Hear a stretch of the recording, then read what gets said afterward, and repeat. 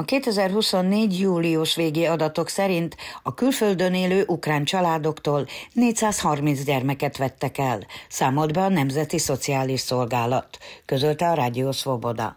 Megjegyezték Németországban 122, Lengyelországban 39, Norvégiában és Spanyolországban 20-20 gyermeket vettek el a családoktól.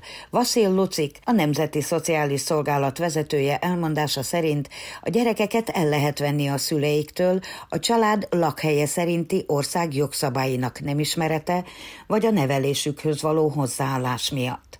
Lucik elmondta, hogy az ukrán szülők megteszik, hogy hangosan szidják gyermekeiket az utcán, vagy egyedül küldik iskolába, pedig még nincsenek tíz évesek. Ez Ukrajnában megszokott jelenség, de számos európai országban tilos. Ennek azonban, amint azt a Nemzeti Szociális Szolgálat vezetője megjegyezte, vannak objektív okai is, mint például a szülők egészségügyi, elsősorban pszichés problémái.